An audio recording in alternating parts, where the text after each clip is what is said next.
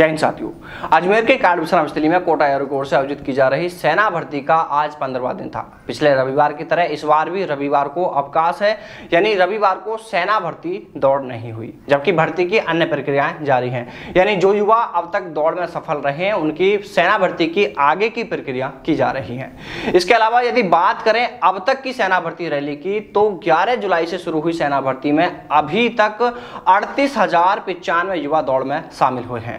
और इनमें से 4100 युवा दौड़ में पास हुए हैं। इसके बाद इन 4100 में से करीब 200 लड़के ऐसे होंगे जिन्हें दस्तावेजों में कमी के चलते बाहर किया गया है और वहीं 1278 युवा मेडिकल में अनफिट हुए हैं। यानी अगर देखा जाए तो 4100 में से कुल 2822 युवा अभी तक मेडिकल में फिट हुए हैं।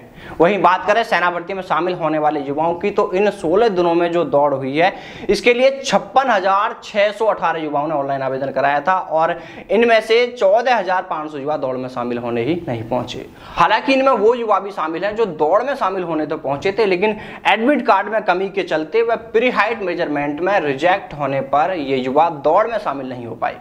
इसके अलावा बात करें, कल यानी 26 जुलाई को होने वाली सेना भर्ती रैली की तो सोमवार को चूरू, गंगानगर, हनुमानगढ़, झुंझुनू ज़िले की सभी तहसीलों के साथ जयपुर की कोटपुतली, शाहपुर एवं चौमू तहसील के युवाओं की दौड़ होगी। इन तहसीलों से सेना भर्ती में शामिल होने के लिए कुल इकतालीस युवाओं ने ऑनलाइन आवेदन किया है।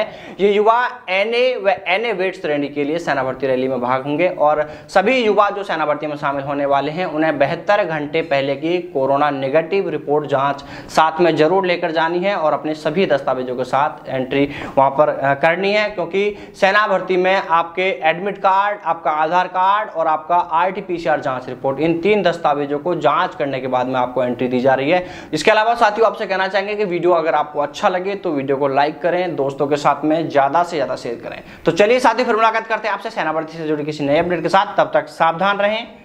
दलालों से दूर रहें, अपना और अपनों का ख्याल रखें। जय हिंद, जय भारत, वंदे मातरम।